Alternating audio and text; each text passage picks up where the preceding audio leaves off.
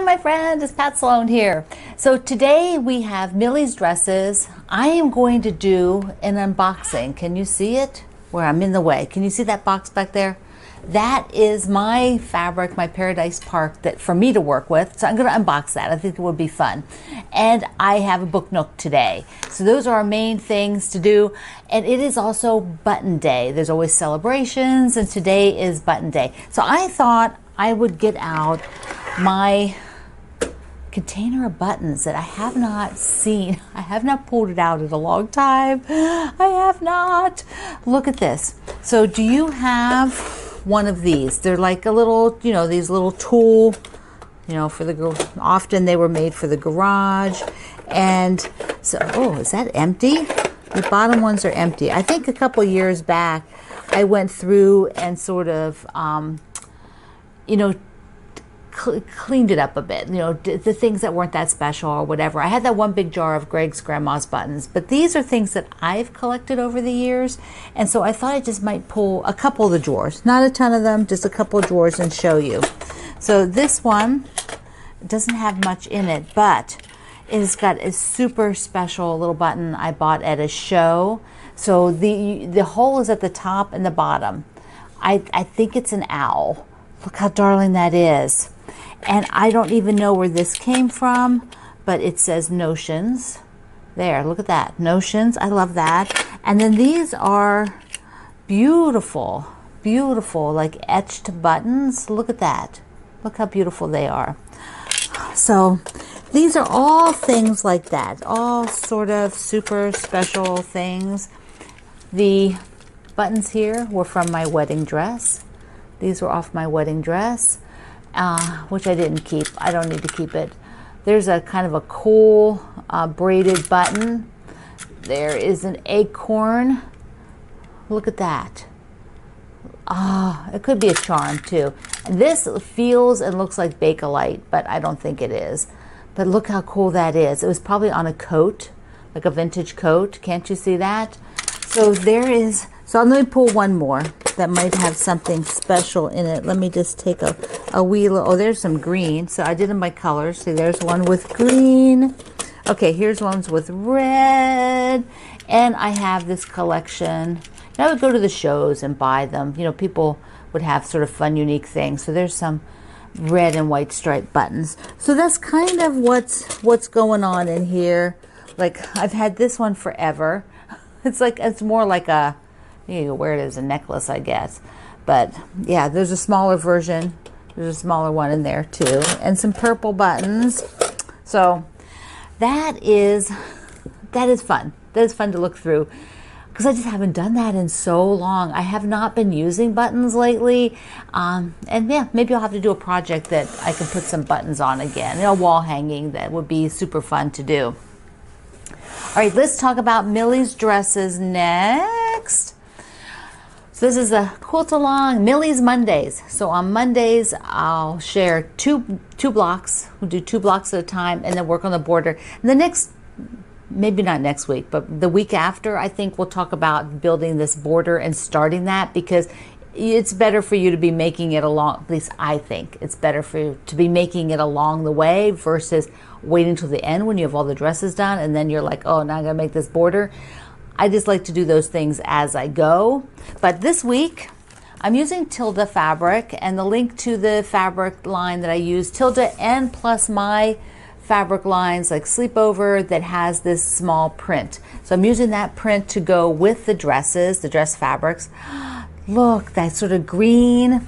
Now, I have the two from last week, but I decided that these need to be interspersed and not like like next, you know, they're not like the two next to each other. Ah, oh, my cord, hold on.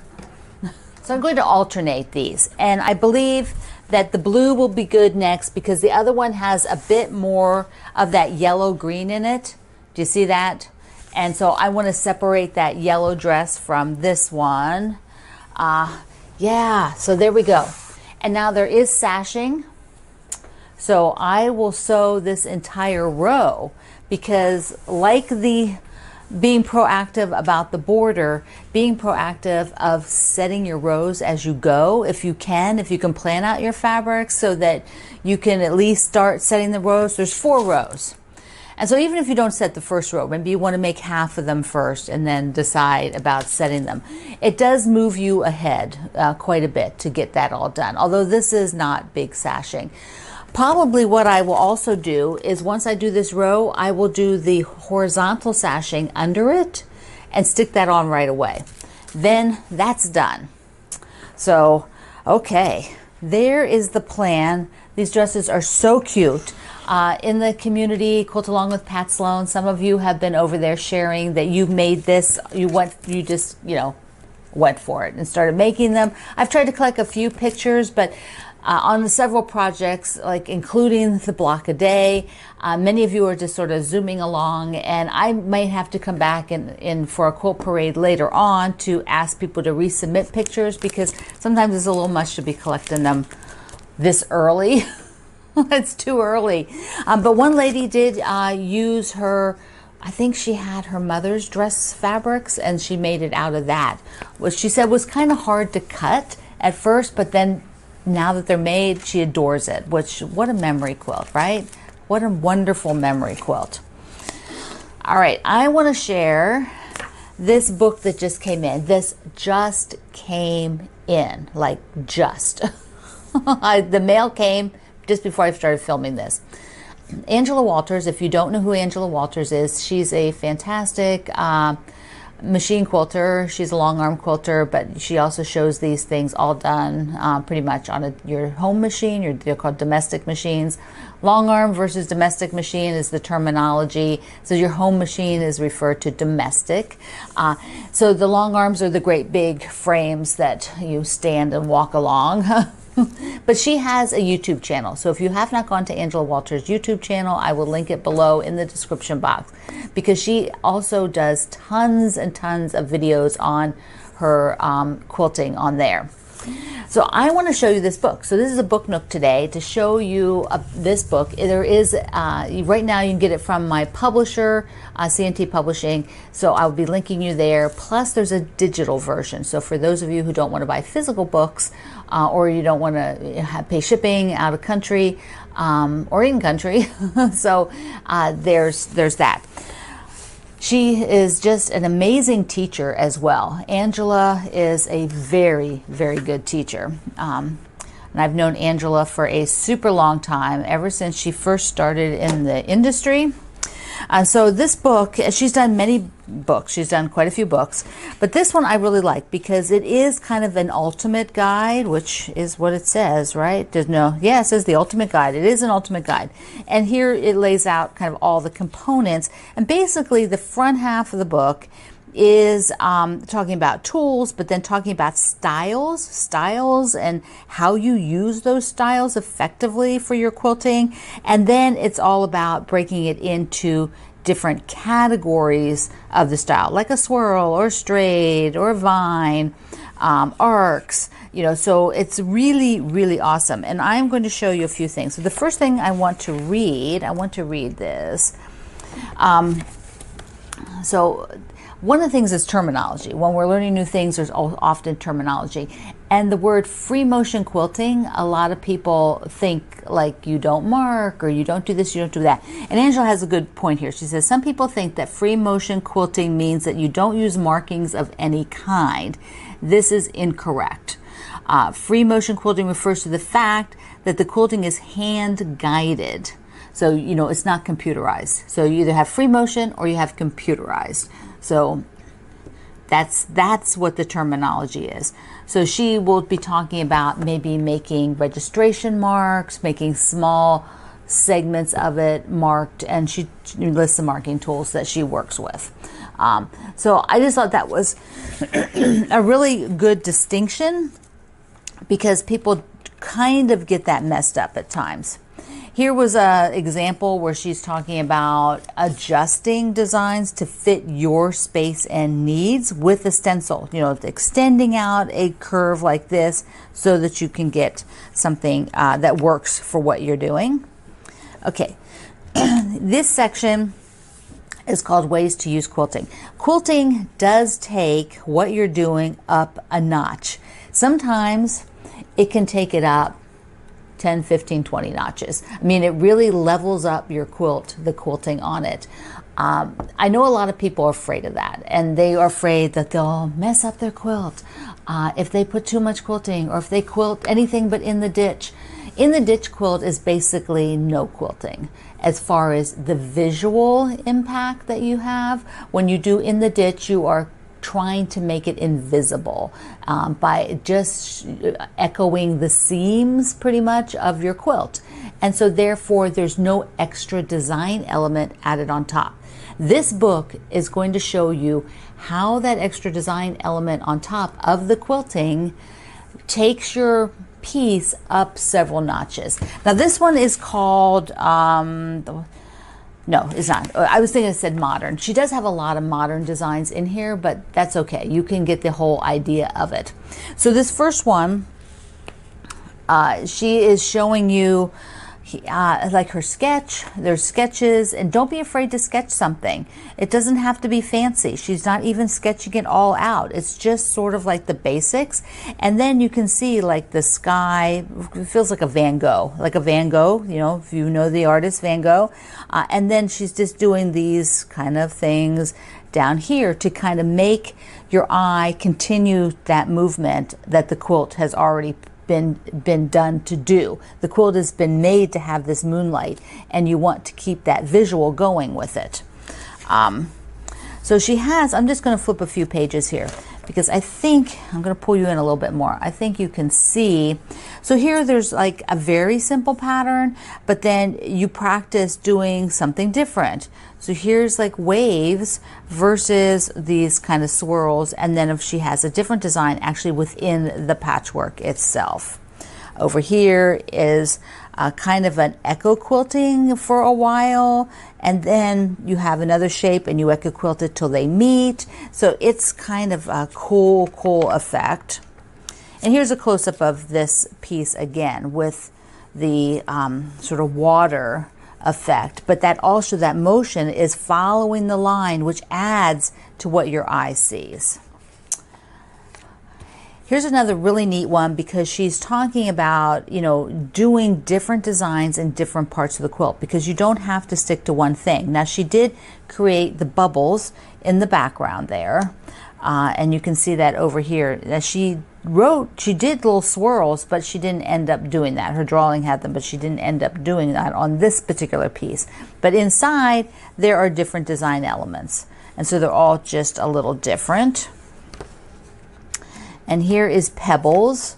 Pebbles, and then she switches to kind of a um, uh, swirl that's repeated. And then over here, she's actually following the pattern of the fabric. So there you go. Uh, okay, let me just switch down here a little bit.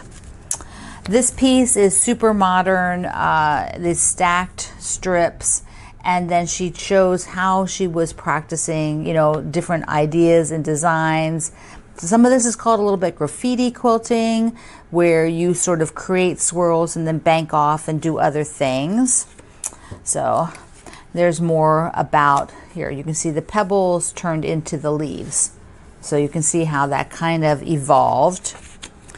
All right on, on these pieces, again, using the patchwork to be your area of work and then within them, changing up what you're doing. And here she shows like a zigzag so that you can see the differences on that.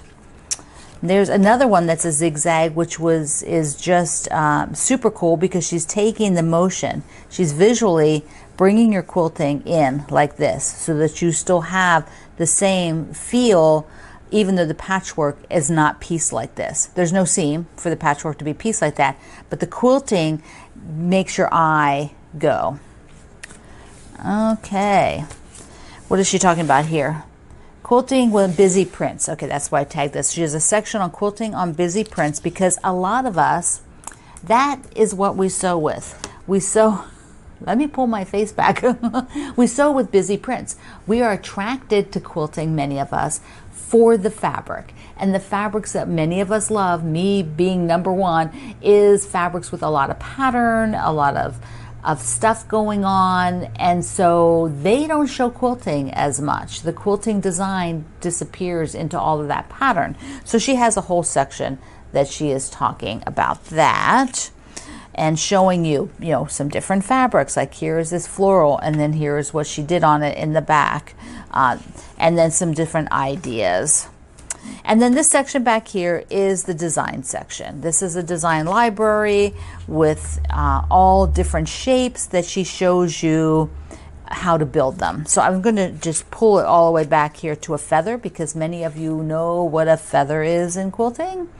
And so she starts you out, shows you how to build the feather, what direction to go, and then on the next page, she takes the idea of that feather and expands it. Expands the feather into a curve, like a tight spiral, and then banks another one off of it, and then banks some little swirls off of that and some little swirls off of that. You know, so it's a whole process of how to um, engage with that pattern and change it as you move along.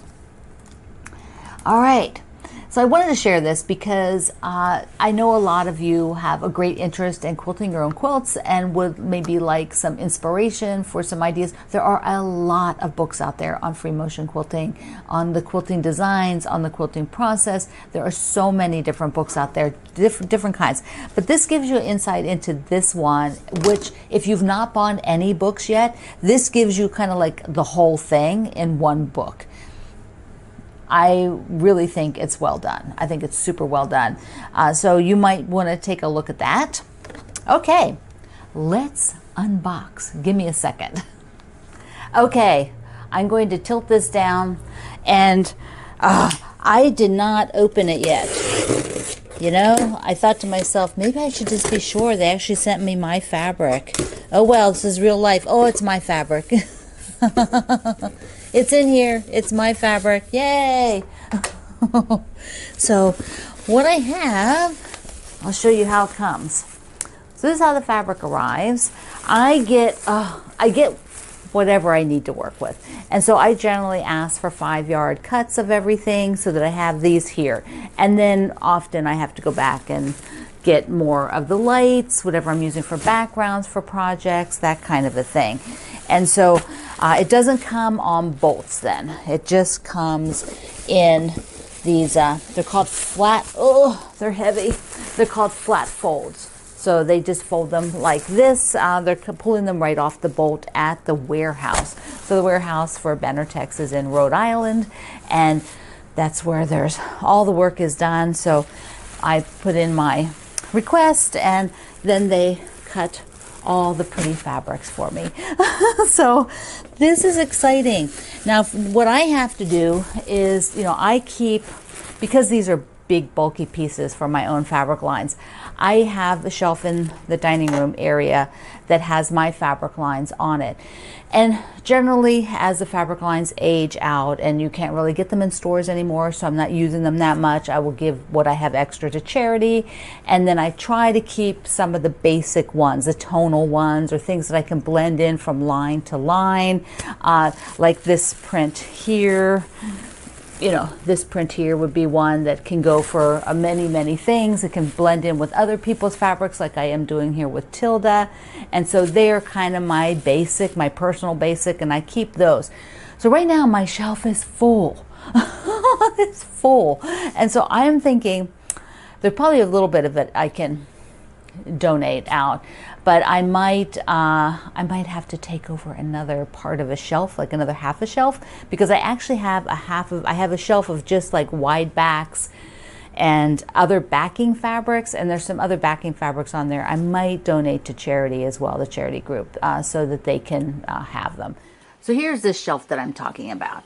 Right now on here are all the sort of regular yardage of the fabrics that I've been, you know, working through. There's drawing room, lots of drawing room, uh, Paradise Park, just the little bits I had before the others came, sleepover, um, there's a little bit of Promise Me, some stuff like that. And then here's the other shelf. These are wide backs primarily. These two are my wide backs. Uh, and then these are other bigger pieces of fabric. That's my white back, the pink, uh, that I've kept to use for backings or maybe for something else down the road. And I think for sure that group has to be moved somewhere else. So I'm going to either have to adjust these pieces down here. There's smalls and things like that. Uh, I don't know. So this is what I have to tackle. So this, I got one more and then this box is empty. Oh my goodness. And Paradise Park is officially in the house. It's in the house here, ready to use. So, okay, I've got it. And my work now will be to uh, work on the shelf after, after I finish taping this and get it all ready. Okay, my friend you will be working on your dresses, your Millie's dresses. I can't wait. And, and you can show them as you work on them. You don't have to wait until the very end and show just the finished item. Show your dresses as you're making them. Also, I hope you enjoyed getting a deep dive look at Angela Walters' newest book uh, with C&T Publishing. It is fantastic. You really, really, if you have any interest, I love the part, this whole first half, where she's going through and explaining how things work and how you can think about your machine quilting. That is so awesome. Okay, my friend, I love you. Mwah. Thank you for being here in the Sloan Zone. I will see you online.